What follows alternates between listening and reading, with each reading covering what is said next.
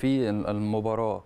فريق مصري على ملعب مصري يعني مفيش حجة للمخرج. انت عارف لو المباراة مثلا في السودان ومخرج سوداني نقول ماشي لكن ده المخرج مصري والفريق النادي الأهلي مصري وفي ملعب استاد السلام ملعب مصري. يعني يا جماعة ليه اللقطة ما تتعادش؟ إحنا معانا لعبة ضربة الجزاء اللي ما اتعادتش لعبة واضحة جدا يعني لعبة بنسبة 100% أو 99% ضربة جزاء. هي ضربة جزاء.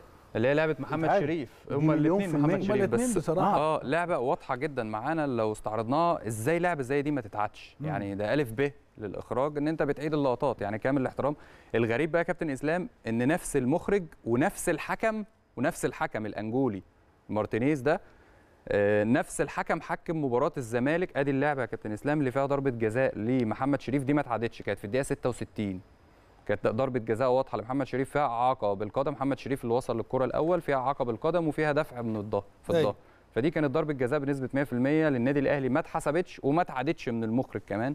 بتاع المباراة كان نفس المخرج اللي حكم مباراة الزمالك وحسن اللي كان بيخرج مباراة الزمالك وحسنية أغادير المغربي السنة اللي فاتت أو اللي قبل اللي فاتت في الكونفدرالية اللي كان فيها الكورة عدت المرمى والكورة ما اتعادتش ونفس الحكم الأنجولي يعني برضه. سبحان الله آه نفس الحكم ونفس المخرج. آه. فأنا مش عارف. بصراحة آه آه. مش عارف العيب فين. يعني العيب دي يعني ده برضه بص يا أحمد كل ده حاجة وإن أنا كمشاهد قاعد كراجل أهلاوي قاعد بتفرج على المباراة وعايز أشوف الكرة دي دخلت جون أو يعني آه، تح- تحتسب ركله جزاء ولا ما تحتسبش أنا عايز أقول رأيي.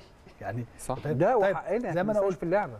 نعم حقنا حقنا نشوف آه نشوف غير ألف ب. إخراج عايزين قعد نشوف ألف ب. إخراج قعدت اللقطة طبعا